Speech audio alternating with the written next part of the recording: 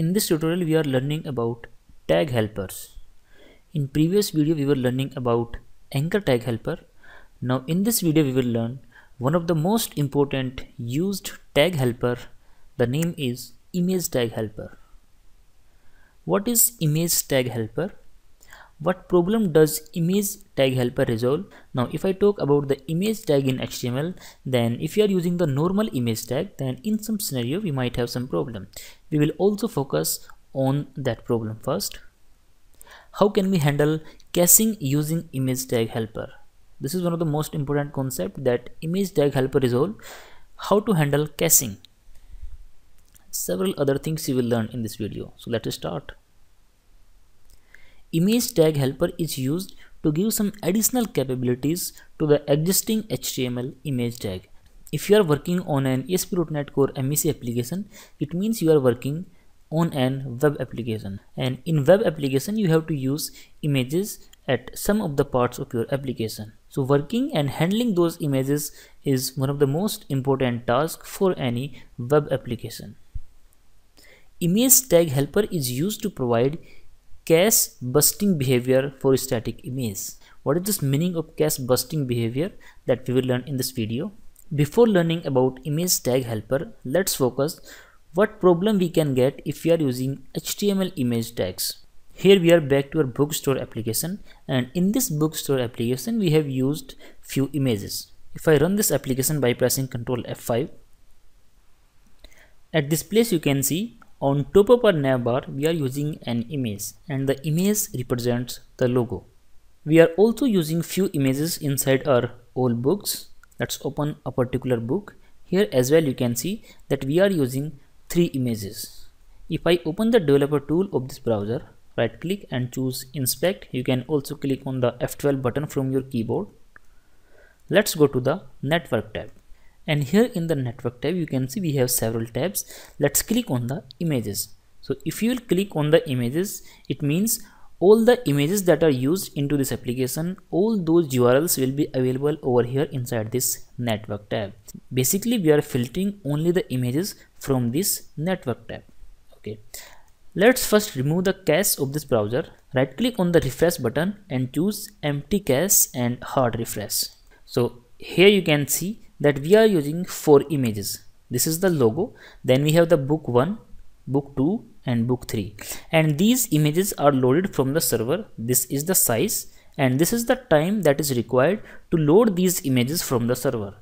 Right now we are using IIS Express server which is running into the local system. So we are getting these images very quickly. Here you can see the size of the images is high so for example this one is 6 MB this one is 1.5 MB 952 KB but we are getting these images in very quick time. Why? Because everything is working onto my local system.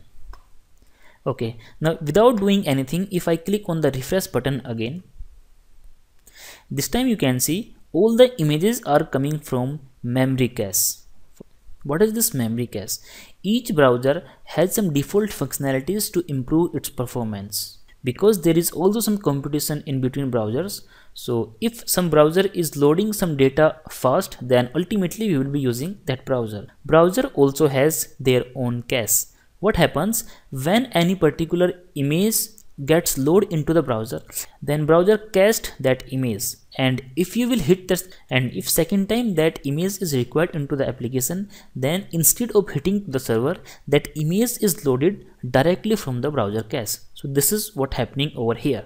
This time this browser is not hitting the server for these images. These images are coming directly from browser cache.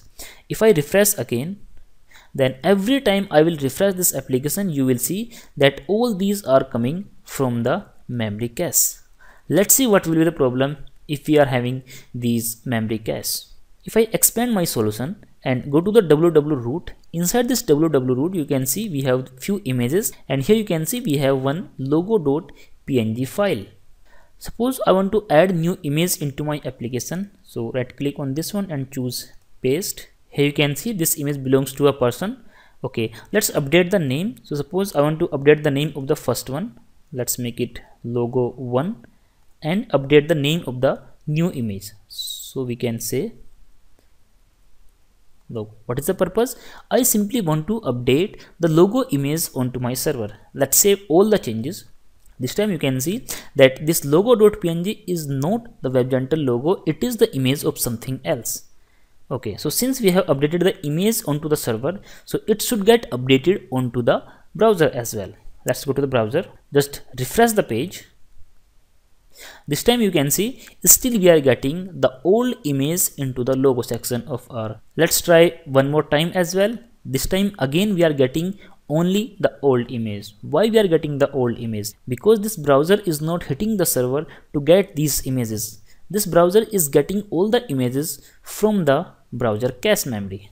Now what is the solution to resolve this problem first one is we have to remove the cache of this browser. And to remove the cache of the browser there are several ways.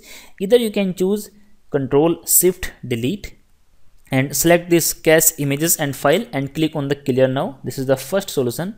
Second one is you have to right click on this refresh button and choose empty cache and hard refresh.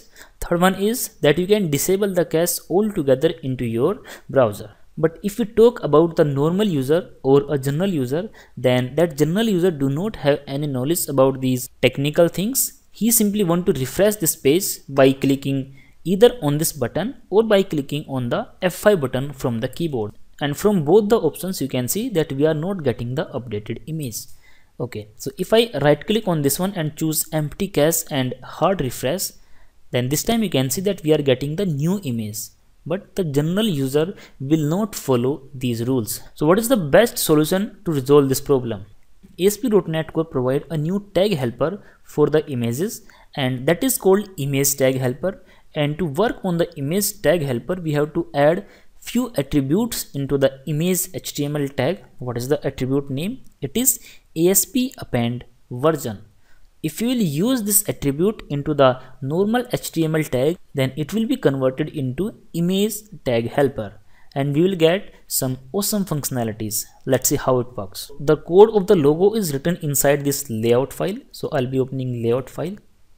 Here you can see that we are using the image tag and inside this image tag we are providing the src and it goes to the logo.png and this is the logo.png okay so we have to use ASP append version attribute for image tag helper. Let's use that ASP append version and we have to provide its value to true. So let's not make any further change into the application. Go back to the browser and just refresh the page. This time you can notice that along with the logo.png name, there is a string appended over here. Let's see the page source as well. Right click on this page and choose view page source. Here is the logo. Let's focus onto the url so it says images logo.png and v v means version equals to and we have a key over here. This key is known as hashed key. So this is a hash key which is appended into the image path. Now the question comes why we are appending this hash into the src of this image tag? The answer is that each browser cached these static files with their url name. If there is a new url into the application then only in that scenario browser will hit the server to get the new file. But if the url is not changed then browser will get the data from its browser cache memory. Let's try to refresh this page now. And please focus on this hash string. Every time you will refresh then you can see that we are getting the same hash string over here here as well if i refresh this page every time you can see that we are getting these images from browser cache. Now suppose for any scenario we want to update the image on our server. Let's again use the previous one. So here I'll be updating the name first. Suppose it is 2 and let's update the name of this logo 1. Let's save all the changes. This time you can see that we are using the previous logo over here again. Let's save all the changes. Go back to the browser. First, let's open this source file and this time you have to focus onto this hash string and I'm going to refresh the page simply by pressing F5 or by using this button of the browser. This time you can see the hash string has been updated automatically. Why? Because we have updated the image on server. That is why this url has been updated.